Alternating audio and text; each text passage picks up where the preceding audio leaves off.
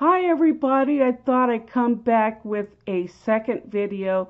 I didn't like my video from yesterday, so I took it down for multiple reasons, uh, including the fact that I didn't use any Bible passages and I was using, it was quite predictive programming, heavy, which I don't like to do and um, a fellow YouTube subscriber convicted me of that, and so I uh, I felt convicted. So I'm doing a, another video, uh, which is a bit different from yesterday's, but I believe it's even more critical than the one I presented yesterday. So it's entitled "The, the Sign of Jonah and the Day of the Lord." A fiery judgment on the USA, and I'll go from here. So, because I'm going to go a little bit backwards in time and reference the eclipse that traversed across the United States in 1918, but with that, keep watching though, I got more content. Jesus Christ is the same yesterday, and today and forever. And that's per Hebrews 13 8. And in Luke 21, verse 25, pertaining to the coming of the Son of Man, and it says in verse 25, and there will be signs in the sun, in the moon, and in the stars. And then uh, it goes on further in that passage, but this is the one I'm going to be covering specifically with the total solar eclipse that traversed the United States back in June of 1918. So, like the eclipse that crossed the United States in August of 2017, and this upcoming one that's on April 8th, 2024, the one that was on June 8th of 1918 was also called the Great American Eclipse. So, like the 2017 eclipse, the one that occurred in 1918 actually had a similar track or pathway across the United States, but instead it entered the United States at Grayland, Washington, instead of in Oregon, and made kind of more a southerly uh, trajectory with its pathway and exited at Melbourne, Florida. So, like this upcoming eclipse on April 8th, 2024, we know that it goes through, it intersects at Little Egypt in Illinois, and in its pathway, there are several cities with the name of Nineveh.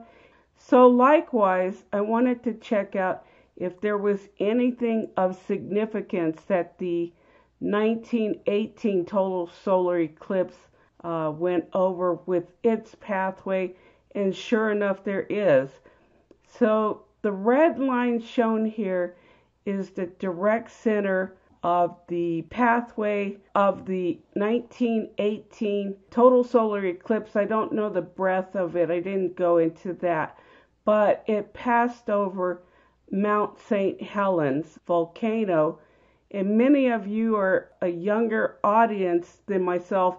I'm 63 years old and was alive uh, when Mount St. Helens erupted in 1980. So I thought I'd check into this a little bit further and wanted to see also what constellation this total solar eclipse was in. So on the June 8th, 1918 total solar eclipse that went across the United States. It occurred in the constellation of Taurus between the horns of the uh, bull, and Taurus means judgment. And the time that it was maximum when the total solar eclipse occurred was at 3:57 p.m. Pacific Daylight Time.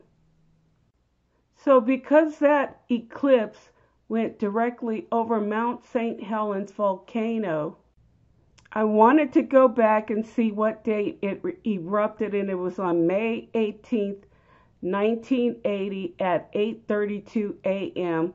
Pacific Daylight Time, and I remember this because I was in the hospital at the time, and it was on the front cover of every magazine and newspaper because it is the largest volcanic eruption that occurred in the United States in modern times. But here's a picture of Mount St. Helens prior to the eruption then and here it's here's what it looks like now. I'm going to put a link to a footage. It's under 2 minutes. There's several footages out there, but the majority of them are copyrighted. Uh, this one is also so I'll get flagged but I'll put it as a link in the description box. But please go take a look at it because it is incredible to watch. And after the eruption, the blast flattened enough timber to build 150,000 homes. So this picture looks like blades of grass, but it's actually timber. And this photo was taken in 2012 where lakes nearest to Mount St. Helens have been partially covered with fallen trees for more than 40 years now. So it was quite an incredible eruption. And here's uh, Mount St. Helens. You can also watch in videos that there was a mud river with just tons of trees that were coming down, and it was another incredible sight to see and I believe there's footage as well on that.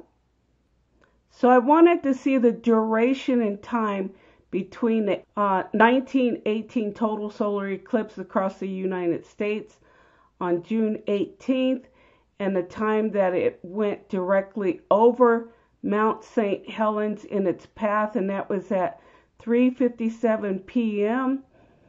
and the date of the Mount St. Helens eruption on May 18th of 1980, which was at 8:32 Pacific Daylight Time, and the duration between the two, the total solar eclipse and when the Mount St. Helens eruption occurred was 61 years, 10 months, 29 days, 16 hours, and 35 minutes, and that will be important uh, so put that in the back of your mind because I'm going to come back to this information as I go forward. So when I saw this May 18th date of the eruption of Mount St. Helens, I go, where have I seen this May 18th day before? And I remember that it is 40 days after this total solar eclipse on April 8th that's coming up next month. So in Jonah 3, verse 4, it says, And Jonah began to enter into the city a day's journey, and he cried and said, Yet 40 days, and Nineveh shall be overthrown. And that's the sign of Jonah. So 40 days after this upcoming April 8th total solar eclipse 2024, you have 40 days and you end up with May 18th of 2024, exactly 44 years after the Mount St. Helens eruption on the same day. So in Joel 2, verses 30 to 31, it says, And I will show wonders in the heavens which has been occurring, and in the earth, blood and fire and pillars of smoke. The sun will be turned into darkness and the moon into blood before the coming of the great and awesome day of the Lord. So, this is what will occur prior to the day of the Lord. So, here, a lot of people have interpreted this as being a total solar eclipse, which is about to occur. So, I, I believe that could be another possible dual prophecy and the moon into blood. So, we've had many lunar eclipses, but When that eruption occurred in 1980 with Mount St. Helens in the state of Washington, and it was east of Seattle and north of Portland, Oregon, there was so much ash that if you lived in the proximity, especially in the states of Washington, Idaho, and Oregon, that there was so much ash that was pumped out in the sky that it blackened out the sun completely to where it looked like nightfall. And then the moon actually did appear as blood. So I think that could be more so what it's referring to, especially with blood and fire and pillars of smoke. And there were people that perished in this volcano and nearby villages. And so it was uh, a big to do back then. And even states that were a little bit further away from there, there was still so much soot in the sky that the skies were darkened. So here's a graph of the 48 states and the amount of ashfall that occurred over these states. So, of course, the worst was in proximity to Mount St. Helens, which was two to five inches, and then a little bit further out was a half inch to two inches, and then in this uh, yellow region was up to a half inch, even in Oklahoma. And here was a photo taken at noon in Yakima, Washington on that same date, a couple of hours after the eruption of Mount St. Helens. So you might be asking yourself, what does this have to do with the upcoming sol- total solar eclipse on April 8th and the sign of Jonah and the day of judgment? Well, again, referring back to the time period the duration between the June 18, 1980 total solar eclipse across the U.S. and the date that the Mount St. Helens volcano erupted on May 18, 1980. Again, it was a duration of 61 years, 10 months, 29 days, 16 hours, and 35 minutes between the total solar eclipse and the Mount St. Helens eruption. So in 2 Peter chapter 3 verse 9 it says that the Lord is not slack concerning his promise. So what might seem to us like a long period of time, especially since the 1918 total solar eclipse across the United States. That's been over a hundred years ago. But again, the Lord is not slack with his promise.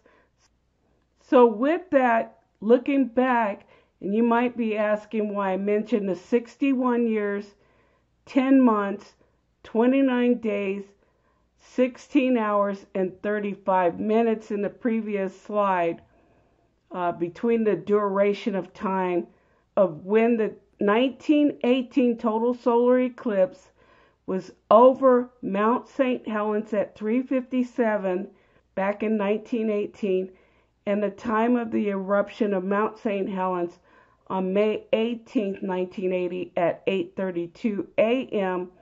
If you look at the numbers, 61 years, 10 months, Taking out the zero and reading it backwards, it's 166 without the zero, reading it backwards. The 29 days, 16 hours can be a, a 2916 and it can be rearranged, transposed to be 1962. And then the 35 minutes, the 3 5 in reverse is 53.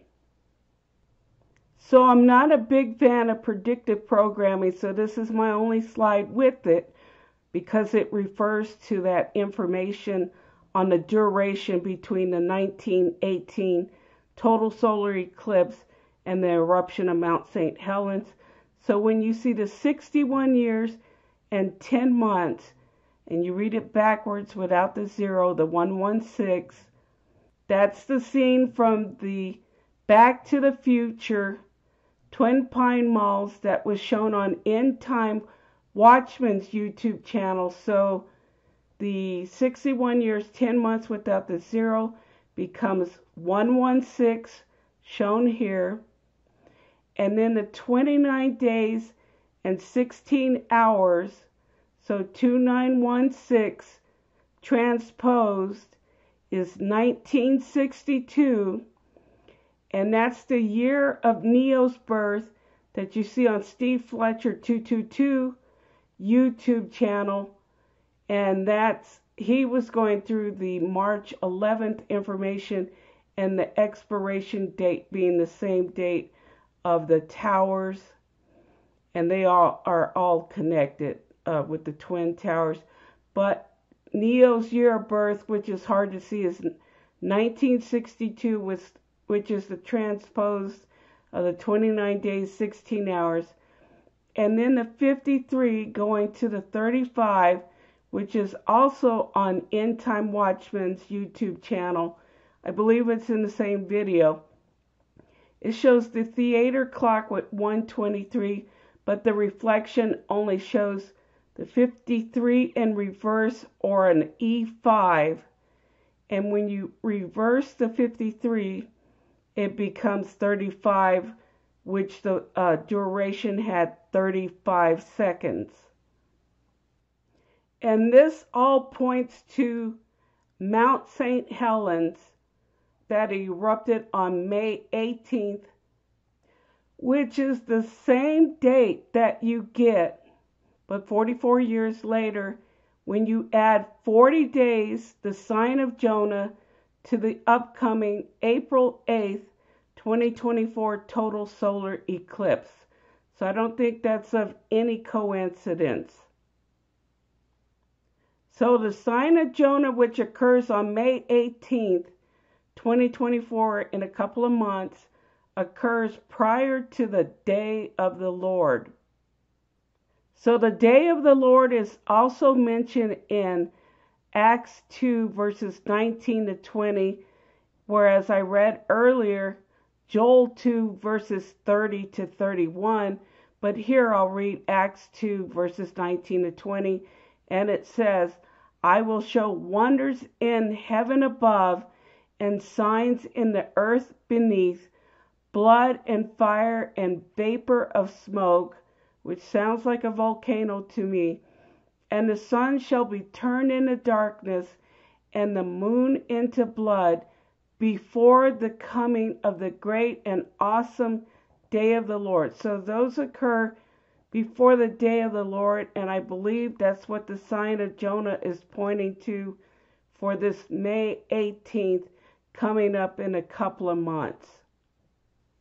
So again in 2 Peter chapter 3 verse 9 where it states that the Lord is not slack concerning his promise. So it could take years before it actually comes to pass, but I believe that it's showing that this May 18th 40 days after this upcoming total solar eclipse on April 8th, 2024, will be May 18th, 44 years after the Mount St. Helens eruption. So I believe that is a definite sign of judgment to come and the sign of Jonah. And speaking of promises that of the Lord, there's Abraham's promised land, which is also outlined by four total solar eclipses. So in Genesis 15, 14, and 18, here's the full promised land that is spoken of. So in Genesis 15, 14, it says, And also the nations whom they serve I will judge. Afterwards they shall come out with great possession. And then in Genesis 15 18, on the same day, the Lord made a covenant with Abraham, saying, To your descendants, I give this land from the river of Egypt, which is the Nile, shown here, to the great river Euphrates shown here. And this is highlighted in green, the full promised land of Israel that the Lord promised and is not slack for the nation of Israel. And here's Abraham's promised land between the Nile River and the Euphrates River, highlighted here in blue, but it is encircled or enclosed by four total solar eclipses, all shown here. So there was the one on August 11, 1999, which just transpired. The one, the blue one going up this way on March 29th of 2006, which has also transpired, but there are two right remaining, which is the August 2nd, this way shown in green, and finally the yellow one will occur on March 20th of 2034 and that will be the final total solar eclipse that encircles or encloses Abraham's promised land. So God does in fact use his heavenly signs to show his great works. So I believe that the sign of Jonah will be this upcoming April 8th, 2024 total solar eclipse because it has so many cities that it traverses with the name Nineveh and so many other words associated in that pathway that's also connected to Jonah. And this occurs 40 days prior to the day of the Lord, which falls on May 18th of 2024 in my opinion. So I believe these events are about to occur on the United States as judgment, whether it's uh, Mount St. Helens, which I believe is dormant, but it could be something much greater like Yellowstone that erupts, and that will be the fiery judgment that comes on the United States being the day of the Lord. So all of these dates are coming upon us rather quickly. I believe that the sign of Jonah is in fact the total solar eclipse that traverses the United States over Little Egypt on April 8, 2024. And the sign of Jonah is yet 40 days. After that, per Jonah chapter 3, verse 4, as I mentioned earlier, 40 days after April 8th, 2024 is May 18th, and that's exactly the same date as the Mount St. Helens eruption 44 years earlier. So I think that is an indicator of the fiery judgment that is coming on the United States, whether it is Mount St. Helens which again I believe is dormant, but I think it'll be something much greater, like potentially Yellowstone, which will be a really bad judgment day on the United States. But um, so please bear that in mind. And the good news is Jesus Christ, the Son of God, died for our sins, was buried, and rose again on the third day. So, as Aaron at God a Minute says, it's time to get tight with Christ. And there's so many people who explain the gospel a lot better than myself. But please get saved today because the time is very short. In fact, there is no longer any time. Now is the time to get saved and come to the Lord so please bear all of this in mind. Anyhow, I hope this video has been a blessing to you. I wanted to get this out quickly. So anyways, I hope you have a blessed day and I hope to see you in the sky. So take care.